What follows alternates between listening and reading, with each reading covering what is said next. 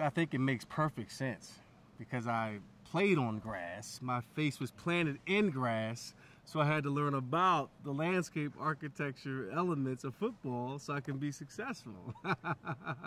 no, but uh, seriously, uh, I took landscape architectural design in, at Ohio State when I was a student there.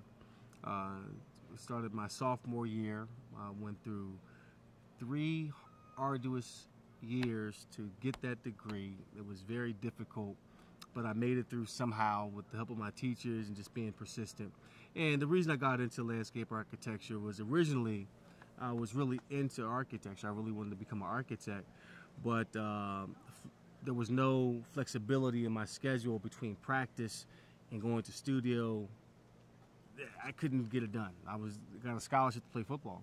So the next thing that um, the next major that they said they, they offered some flexibility within the same arena as architecture was landscape architecture. So I took a, an AutoCAD class, uh, created this incredible project on the computer um, of this uh, of this garden with pillars and um, uh, all these trees. It was just it was just well done, and I just fell in love with it. And I got an A on it, so I said, you know what, maybe I can make a career out of this and uh, start my own architecture firm. And then got my degree and did that.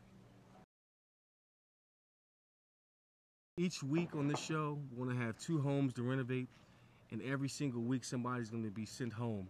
And every week that goes by, the stakes get bigger, the homes get bigger, the styles changes, the criteria changes, and before you know it, we're going to be down to two people.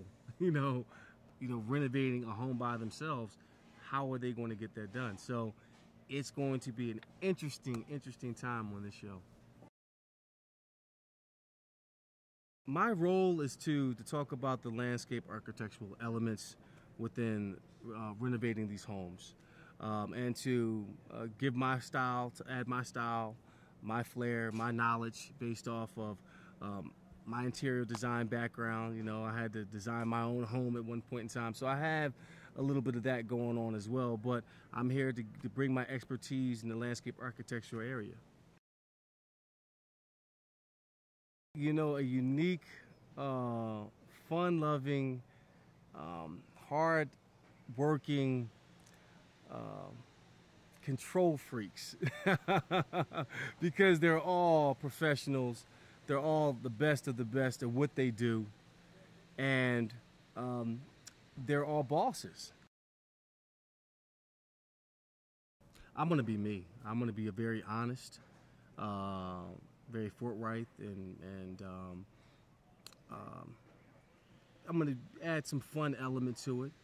But I want to be, you know, bring constructive criticism and just be who I am. That's that's all I know how how to be is to be Eddie George, and uh, to be honest in in that and to stand in my truth, and um, and that's it. Nate. I mean, he's going to dig into uh, the, all the details.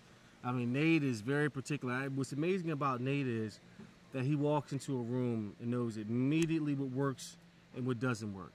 I mean, this is profession. I mean, it's like me going in, onto a football field and knowing who's a player and who's not a player. So he understands that world to the umpteenth degree. And Monica, golly, she's so kind and nice and sweet but you know, behind all that that, that, that pretty exterior, she is a bulldog, man. she was like, I mean, she's like, oh, the design sucks. I would never do that in here. What is he? What are you thinking about? What are you? You know, what's your thought process? So they're they're tough. They're the tough ones. I'm thinking I could be the good cop on the side. Those two, woo, man, I would hate for them to walk through my house.